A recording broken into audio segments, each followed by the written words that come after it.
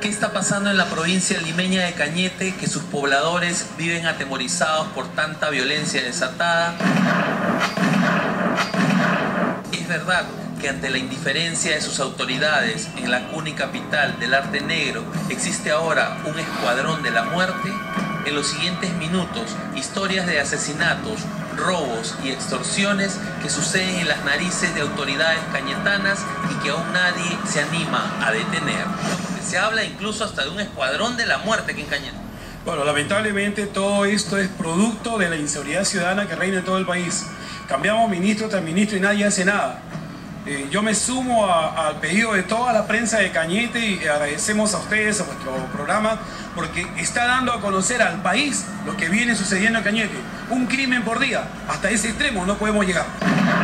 Es verdad, en Cañete la violencia ha llegado a niveles increíbles. El domingo por la noche, el mototaxista Rogelio Amador Luyo Campos murió de 16 puñaladas cuando trabajaba. Horas después, el lunes para ser más exactos, cuando muchos escolares se dirigían a sus colegios, José Luis Gutiérrez Villalobos era cruelmente asesinado de ocho balazos. Las miradas no están puestas solamente en la delincuencia común, sino en los diferentes gremios de construcción civil de la provincia. cada, cada dirigente chapa, gana, gana la gana, viene una obra, gana la obra para qué, no para meter gente, sino para extorsionarla. Le dicen cómo es, no pongo personal del sindicato, pero dejo trabajar, pero la mía. Y eso no debe ser así, ¿ah?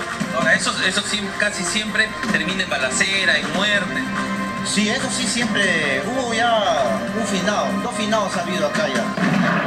Cañete tiene 16 distritos. En todos, absolutamente en todos, la delincuencia le ha ganado terreno a sus autoridades. Resaltan por su peligrosidad los distritos de Imperial, San Vicente, Nuevo Imperial y Asia. Aquí no solamente puedes encontrarte con una balacera camino al trabajo o cuando paseas en el parque. Aquí los comerciantes mayoristas y empresarios, tal como sucede en Trujillo, están siendo extorsionados. Esta es una llamada recibida por una madre de familia a quien le exigen el pago de 250 mil soles a cambio de no matar a su hijo. ¿Vamos a negociar o no vamos a negociar? Eh, Sí puede hacer negocio, negocio, pero ¿cómo nos encontramos? ¿Dónde y cómo?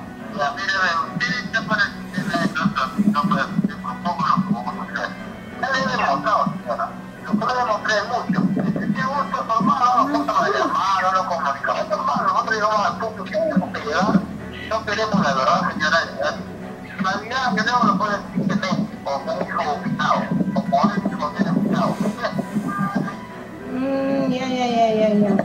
Pero eso te digo, pe, ¿dónde vivo contigo? Ya, no te preocupes, yo miré mi llamada. La persona que está siendo extorsionada, muy asustada en el anonimato, nos proporcionó los números de teléfonos móviles desde donde reciben las amenazas. Se presume que las llamadas se harían desde el penal de cantera en Cañete. Si no hacen caso a la extorsión, nos dicen, podría pasar lo que sucedió en el distrito de Imperial, donde dejaron un artefacto explosivo en la puerta de esta tienda de motos. Una persona quedó herida y los daños saltan a la vista. Por eso hago un llamado a las autoridades, al ministro del Interior, a las sociedades organizadas aquí en la provincia de Cañete para ponerle freno a esta violencia que le hace mucho daño a las familias y al pueblo en general. Los cañetanos sienten que están solos en su lucha contra la delincuencia y la extorsión. Su alcaldesa, María Montoya, y su presidente regional, Javier Alvarado, no han podido hasta ahora encontrar la fórmula para socorrer a la población que ve que su pueblo está de mal en peor. Claro que la responsabilidad es compartida con la Policía Nacional, a quienes también acusan de no hacer su trabajo y de dedicarse a cuidar establecimientos privados, como el condominio Las Terrazas, ubicado en Asia. Aquí encontramos al comisario de la zona, cuatro policías y esta camioneta de placa PL 10534. Caballero, ¿cómo está? De América Televisión. Una consultita. Queremos saber por qué desde las 6 de la mañana se hacen recordación. Pero sin en este sin cámara. ¿ya? Sí, cuenta, queremos saber por qué están acá desde las 6 de la mañana. ¿Qué pasa? Ahorita acaban de tirar una rata blanca, un- un- un- dinamita ahorita acá en Expresa. Era verdad. Dentro acababa de detonar un artefacto explosivo que pudo causar daño a cualquiera de los trabajadores. Estaba clavando, mira, falta, a las maderas falta clavar todavía, mira. Estaba trabajando y mi normal nos dimos cuenta que estaba algo humeando. Y ya corrimos, pues, ¿no? Y ya, pues, caballero, todos a correr, pues. ¿Escuchó una explosión? Claro, acá, en la explosión, cuando estaba corriendo ya explosionó ya. Vamos a ver, Willy, si me ayudas. Mira el forado que ha dejado acá, un artefacto explosivo que pudo haber lastimado a cualquiera de los trabajadores. Afuera, enterados de nuestra presencia, nos repitieron que los policías del balneario de Asia prefieren cuidar establecimientos privados y dejar descuidada las calles. Que realmente me indigna que el mayor esté cuidando, como dice usted mismo, los están viendo en un sitio donde no debería estar ellos, como dicen, haciendo seguridad. Cuando la población necesitamos esa seguridad. Ahora nosotros estamos acá. Si bien es cierto, hay una obra que no debe estar en disputa porque está dentro de un distrito y en este distrito hay dos sindicatos. Yo creo que lo correcto es para ambas, ambos sitios.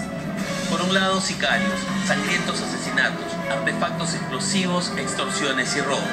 Del otro, están las autoridades locales y la policía que parecen no encontrar solución a este problema en Cañete, tanto así que gran parte de la población aplaude la presunta existencia de un grupo paramilitar que acabe con la delincuencia. Cañetanos esperan ahora la respuesta del ministro del Interior. Punto por la paz. Queremos paz. Cañete por la paz. Cañete por la paz. Cañete por la paz. Cañete por la paz. Cañete por la paz. Cañete por la paz.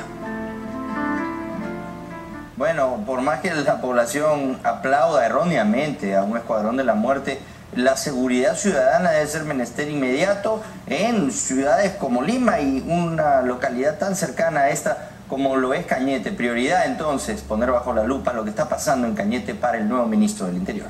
Muy bien,